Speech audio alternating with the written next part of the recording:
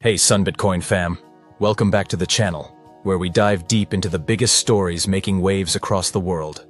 Today, we're talking about one of the most intense international dynamics, Trump versus Trudeau. Yep, the former US President Donald Trump is back with some strong words for Canadian Prime Minister Justin Trudeau, and it's creating quite the buzz as we inch closer to the US elections.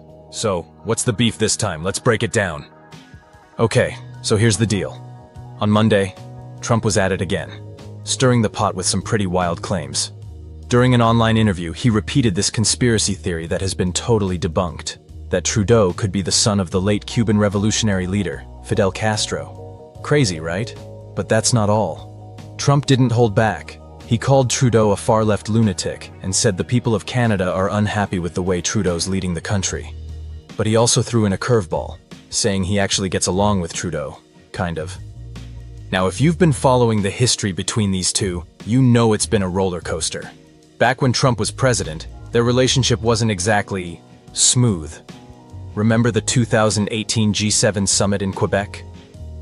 After Trudeau said Canada wouldn't be pushed around by the US, Trump went on a Twitter rant, calling Trudeau dishonest and weak. It didn't end there. Trump even brought up the War of 1812 in a phone call, asking Trudeau, Didn't you guys burn down the White House? Yeah, that actually happened. But things got even more awkward in 2019. During a NATO summit, Trudeau and other world leaders were caught on camera, apparently mocking Trump. Trump's response? He called Trudeau two-faced. Ouch. And just when you thought they might make up, Trump blasted Trudeau during the Freedom Convoy protests in 2022, labeling him a far-left lunatic this back and forth just never seems to end. Despite all the drama, Trump claims he loves Canada and its people.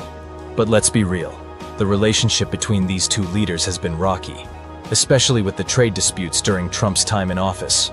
The tariffs on Canadian aluminum and steel, the tough talks on NAFTA, oops, I mean USMCA, and the constant jabs at Canada's defense spending. It's clear that Trump's feelings about Trudeau have definitely influenced US-Canada relations. So, what does this all mean for the future? Experts are saying that if Trump gets back in office, Canada could face a lot of uncertainty. Carleton University's Aaron Ettinger pointed out that Trump's approach to foreign policy often blurs the line between personal relationships and national interests. And that's where things get tricky for Trudeau. Canada relies heavily on the US for trade and security, so any tension at the top can have big consequences. But here's the kicker. Trump's former advisors say there's another layer to this drama. According to Anthony Scaramucci, Trump might be a bit jealous of Trudeau. Scaramucci says it's because Trudeau's younger and, get this, better looking. And apparently, that kind of stuff really bothers Trump. Can you imagine? But in all seriousness, if Trump does win the US election, Canada might need to brace itself for another round of turbulent times. So what do you think, Sun Bitcoin crew?